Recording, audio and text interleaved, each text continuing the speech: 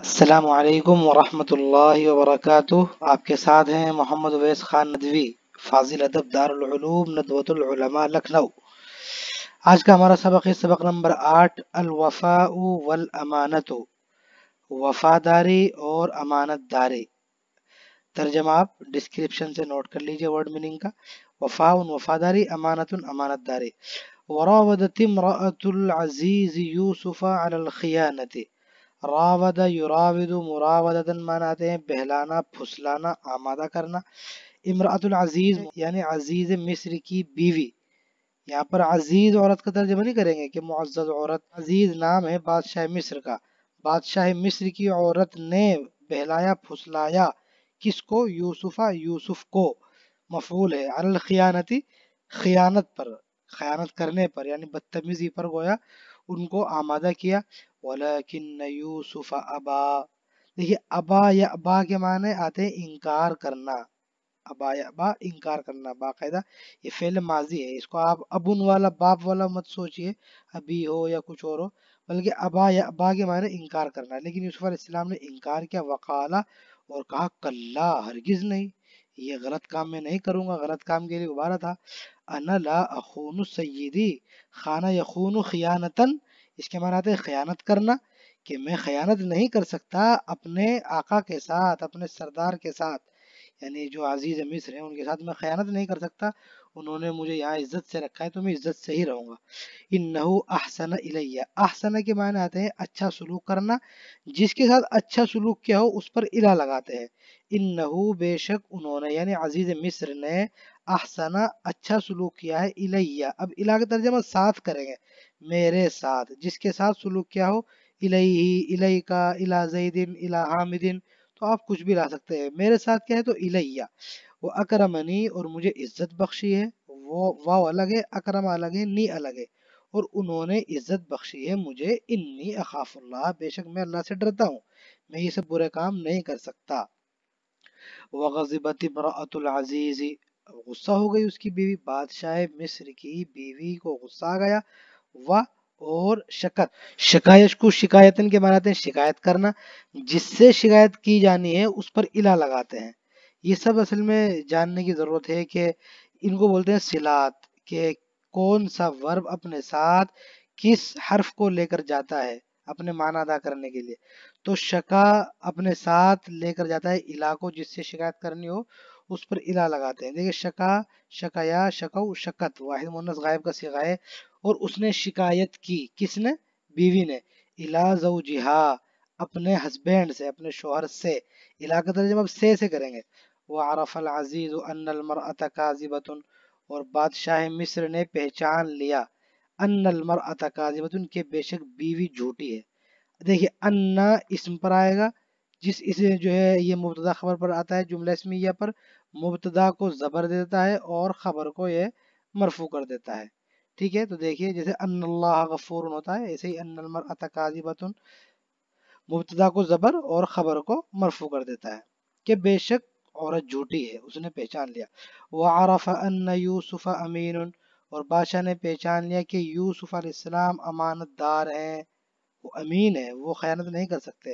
فقال لزوجہ تو بادشاہ نے کہا لزوجہ اپنی بیوی سے، انکی کنت من الخاطئین بے شک تو ہی گناہ گاروں میں سے تو ہی خطا کاروں میں سے۔ خاطئن خطا کرنے والا غلطی کرنے والا خاطئین خطا کرنے والے۔ بے شک تو ہی خطا کرنے والوں میں سے غلطی تیری ہے۔ وعرف یوسف فی مصر بجمالہ دیکھیں عرفہ فعل مجہول استعمال کیا گیا اور یوسف کو پہچان لیا گیا۔ اگر عرفہ ہوتا تو, تو ہم ترجمہ کرتے اور یوسف نے پہچانا۔ لیکن عرفہ فعل مجہول ہے تو ہم ترجمہ کریں گے۔ اور یوسف علیہ السلام کو پہچان لیا گیا۔ فی مصر مصر میں بجمال ہی ان کی اسمارٹنیس کی وجہ سے، ان کی خوبصورتی کی وجہ سے۔ بڑے اسمارٹ ہیں بڑا خوبصورت ہیں۔ اس کی وجہ سے وہ مشہور ہو گئے پورے مصر میں۔ وہ ادار احد اور جب بھی ان کو دیکھتا، کوئی رآ، الگ ہے، دیکھیے، تھوڑا عجیب سے لکھا ہوا ہے۔ یہ اسی طرح لکھا جائے گا جب ضمیر کے ساتھ آتا ہے۔ اور جب دیکھتا ان کو کوئی بھی قالت تو کہتا مہذا بشرا؟ بشر ان کے انسان، کہ یہ تو انسان نہیں ہے۔ ان ہادا اللہ ملکن کریم یہ قرآن کریم کی آیت ہے، تھوڑا ترجمہ ہمیں الگ کرنا پڑے گا۔ ان کے معنی یہاں نہیں کہ ہیں ان ہاضا نہیں ہے یہ اللہ مگر ملکن کریم ایک نیک اور معزز فرشتہ لگ رہا ہے یہ تو دیکھنے میں۔ اتنا خوبصورت، سیدھا سادہ بولا بالا انسان تو لگتا ہی نہیں، یہ تو ایک فرشتہ لگتا ہے۔ وشتد غضب المرأتی یہ بات سن کر اور غصہ آ گیا ان کی بیوی کو جو ہے۔ وشتد اشتد کے معنی سخت ہو جانا، زیادہ ہو جانا۔ غضب المرأتی مضا مضافل ہے فائل ہے کہ بیوی کا غصہ بھڑک گیا، زیادہ ہو گیا۔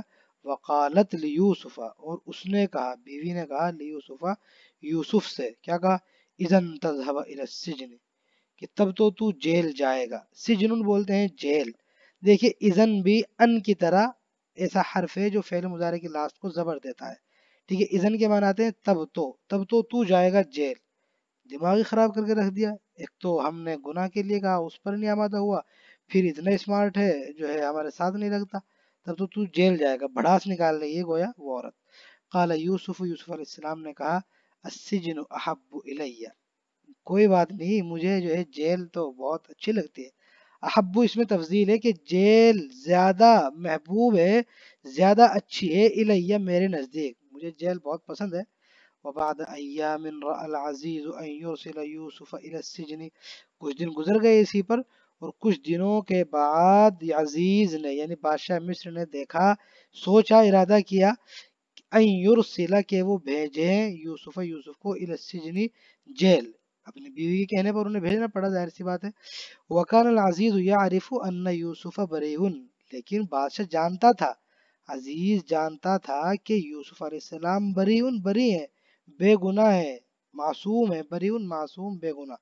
کہ یوسف علیہ السلام بری ہیں، وہ دخل یوسف السجنہ، لیکن پھر بھی یوسف علیہ السلام جیل میں داخل ہو گئے۔ دخل السجنہ، جیل میں داخل ہو گئے۔ دیکھیے یہاں پر ایک بات یاد رکھ لیجیے دخلا فی کے ساتھ بھی آ جاتا ہے داخلہ یوسف فی السجن اور داخلہ ڈائریکٹ بھی آ جاتا ہے دخلا یوسف السجن۔